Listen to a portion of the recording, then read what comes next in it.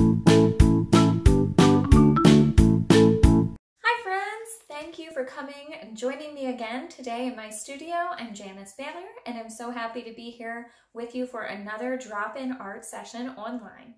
Thank you again to Perry County Council of the Arts for continuing to sponsor the drop-in art program online for us this year.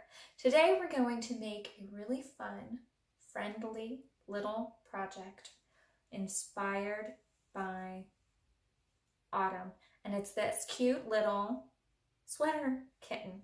So if you would like to learn how to make this little pet that can join you very quietly while you work, stay tuned. Here come the supplies for today's project. Today's project, you will need a piece of thin cardboard. Uh, recycled cereal boxes worked perfectly for this. Um, a jar if you'd like to have a template to trace. A ball of colorful yarn a black marker or pen, a pair of scissors, and some tape. To make our little sweater cat, first we are going to draw the body of our kitten. So I like to use the jar as a template so I can get a good circle because I'm not that good at freehanding circles.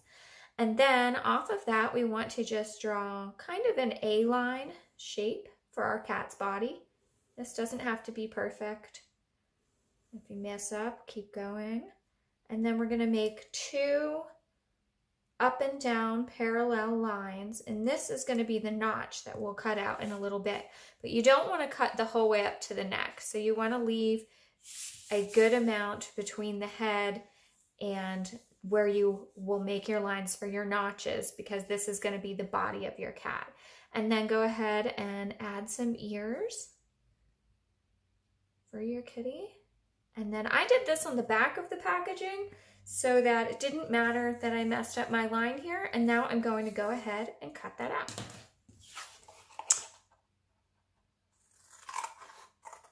So cut along your lines.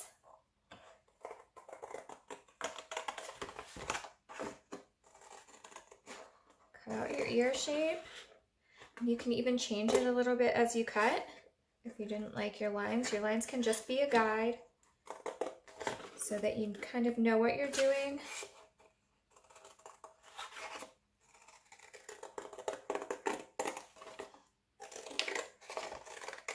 And then for the notches, we're gonna cut up in, but not the whole way up through. We just wanna cut partially up.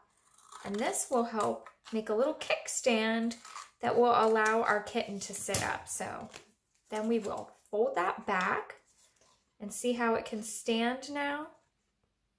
Whereas before, if it were just flat, it would fall over.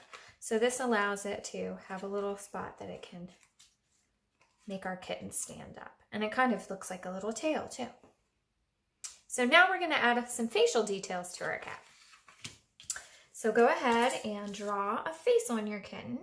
You can do this with black or colorful markers, whatever you prefer. I'm just gonna go ahead and use a black marker to make some eyes and a fun little mouth for my kitten. And I'm going to add a little freckle detail and some whiskers.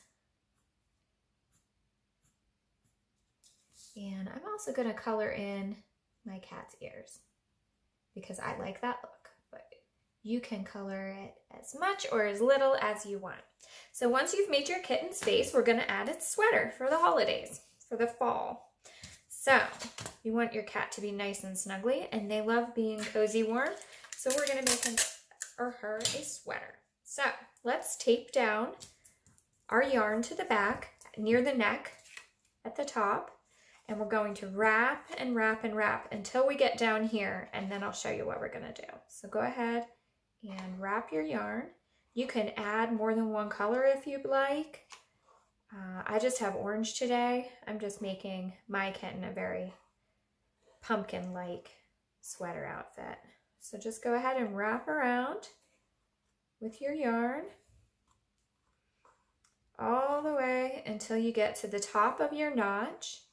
And then the trick here is we're gonna keep wrapping for a bit so we cover our little kitten in its sweater so it can stay nice and warm. But we're gonna take our yarn all the way down here. So that means we're gonna weave a little bit around this notch because we don't wanna tuck it down. So we need to go in and around. So let me show you that from the back. So instead of going over the top, we don't want to do that. That will flatten our notch and our kitten won't be able to stand up. But, so what we're going to do is come underneath of it and that allows the flap to still work. So keep wrapping and just make sure that you get your thread up underneath the notch so it's still free and but still around the front. See how my sweater is filling in? Keep going all the way to the bottom until your little kitten's paws stick out. And then once we've gotten that, don't pull too tight so your kitten stand up here. Once we've gotten it all the way down to its feet, I'll go one more. Then we're just going to tape it in place behind its leg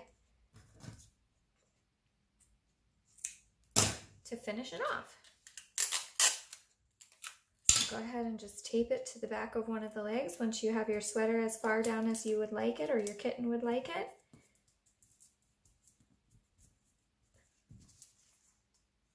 And there you have it. There is your little sweater kitten. How cute. And your parents can't complain about feeding this one. Zero maintenance. Thanks for joining me today, friends. Stay creative. Bye.